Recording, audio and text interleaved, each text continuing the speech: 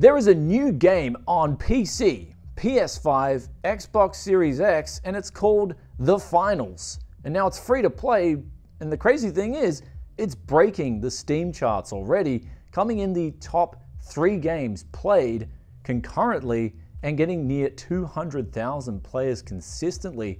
And it's only in beta at the moment, and it's going to be released later on this year. So if you want to get a PC ready for the finals, what CPU, what GPU configuration are you going to be looking at at 1080p, 1440p, or 4K? Well, if you're looking for that, we've got you covered in today's video. We're going to be doing a heap of different benchmarking. We're going to be enabling DLSS, FSR2, and doing a quality comparison too. And the best thing about this game is the developers, they made the original Battlefield games and they got sick of EA. And I mean, one can only wonder why people would get sick of working for a greedy corporation like EA and decide to make their own studio, but then also use the Unreal Engine 5 and make a game that is extremely smooth with very good visuals and very good FPS. But let's get into all of that right after today's video sponsor. Never pay full price for Windows 10 or 11 again. With today's video sponsor, SCD Keys, you can get activated for as little as $15 using that coupon BFTYC. Links in description below. So the game called The Finals is currently in beta access, open beta, and you can play it for another couple of days. I think the beta access ends on either Sunday or Monday, depending on where you live in the world, and you can download this. It's only 14 gigabytes in size, and it's free to play. So there's nothing that'll have to come out of your wallet if you want to test this game out. I've actually been playing it, really enjoying what I'm seeing so far. The gameplay is unique, very intuitive, and the battles feel really consistent with the registry being on point. Though right before we get into these benchmarks, make sure you smash that like button and also hit that sub button if you appreciate the work that we do around Tech Yes City. So as we hinted at before, this game is very well optimized from what I'm seeing so far. However, there's actually no minimum required specifications as to what hardware you should use. Since it's in beta, they're still getting a rough idea as to what you need, but we've tested it with two different CPUs here, and both an i9 10900K and an i7 4790. And what we're seeing here with core utilization and thread count is it uses it extremely well. Even with an RTX 3060 on a 10900K, we're seeing 20% utilization on this CPU. This is actually four years old, the 10900K now, so if you've got a better CPU, you'll even get lower utilization. Now, the i7-4790, we tested this with a GTX 1060, and we were getting an extremely playable experience at both 1080p and then 1080p turning on FSR2. And we'll get onto the comparison of DLSS and FSR2 a little bit later, but both these upscaling technologies actually work extremely well in this game, being both great options if you want to get more FPS and not lose really hardly any visual fidelity in this particular title. Now let's get onto the GPU benchmarks here, where we tested at 4K, 1440p, and 1080p with three different graphics cards just to get an idea of how AMD and NVIDIA perform in this title. And here's the good news where at 1080p, you'll get extremely playable frame rates on all three of these cards, the 1060, the 3060, and the RX 6700. If you want to put on FSR2, all these cards will get a significant increase in performance. And then if you've got an RTX 2000, 3000, 4000 series card, you can turn on DLSS 2, and it's gonna do a great job of producing more FPS. And we were actually surprised because when we first started up the game, DLSS 2 was on, and we just didn't notice it. And then we turned it off and we're like, Hmm, there wasn't really much of a difference there. Though there's even more good news with this game, and it comes in the form of ray tracing, where usually most games I'll just turn ray tracing completely off because the FPS hit is so massive. You'll go from some games 150 FPS all the way down to 60, and you'll be like, why did I turn this setting on? But this game, actually, you're losing a minuscule amount of FPS for the visual fidelity increase you're getting. I mean, just look at this sword and the reflections on it. it actually looks beautiful with ray tracing turned on. So this may be one of the first games that comes out that's going to be a competitive game, free to play, really good FPS, and you might want to just turn on ray tracing just to have a lot of fun with it.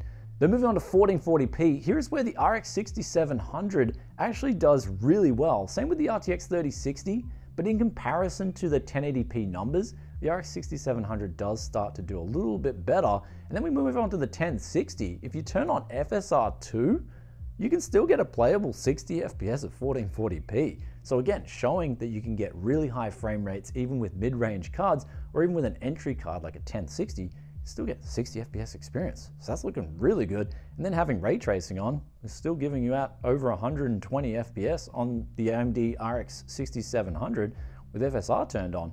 Then we move on to 4K. This is where you can get on both the RX 6700 and the RTX 3060 a really playable experience with DLSS 2 on, or of course having FSR 2 turned on. If you decide to turn these on to native, then the uh, FPS will actually be quite low, but this is where the upscaling technique really comes in to favor higher FPS numbers and just give you an overall great experience, even if you're playing on 4K with a mid-range GPU. But I'm sure this is gonna make a lot of people happy if you've got an RTX 3090 or an RTX 4080 or anything like that, and the new 7900 XTX, you're gonna get an absolutely amazing experience at 4K, even with native. So those higher end GPUs, they're gonna have no problems running this game. And even if you've got a mid-range GPU, you can finesse the settings and still get a 4K playable experience. So the final comparison we are going to pull up now is going into the detailed comparison image side by side by side by side with Intel's XS, XESS, XS, I'm a little bit confused on that one. I think it's XS, we'll just go with that. DLSS 2, FSR2, and then native.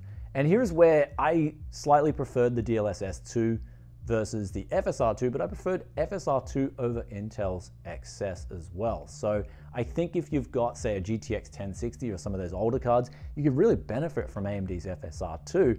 And of course, if you've got the DLSS 2 available, I would go with that and turn that on for that FPS boost. Or of course, if you just got those behemoth cards, you just run native. But I just found the differences actually weren't that big in this game. And actually, speaking of differences, the low settings was actually very impressive and a great experience. I know some games I boot up low settings. For instance, Fortnite would be one that comes to mind. The difference between low settings and high settings is just night and day. It looks so much different between those two quality settings. Here with the finals between low and high, high does look better, but low doesn't look as bad as other games would look. So do let us know in the comments what you guys think about the comparison. I know it's YouTube compression and it's going to be dulled down a bit, but if you turn it on maybe 4K settings on your TV and you can maybe be able to see a difference there, do let us know which one you preferred in the comments. Anyhow, guys, with all that out of the way, I hope you enjoyed today's benchmark comparison. This game is going to be a big hit on PC, especially I think it's also going to be a hit on the consoles as well, being free to play. And just playing this game from Embark Studios, that's the new studio they made, they've done a phenomenal job. And it's very well optimized. It's using the latest Unreal Engine 5. And honestly, there was lots of hype surrounding this game, and I just think they've over delivered already. Being a beta, it just had fluid uh, movement, the gameplay was fluid, the 0.1% lows were extremely good, except for this one anomaly we had at 1080p with the RX 6700 at native. But Besides that, it's just going to be a very good game on final release that's going to bring a big smile to your face.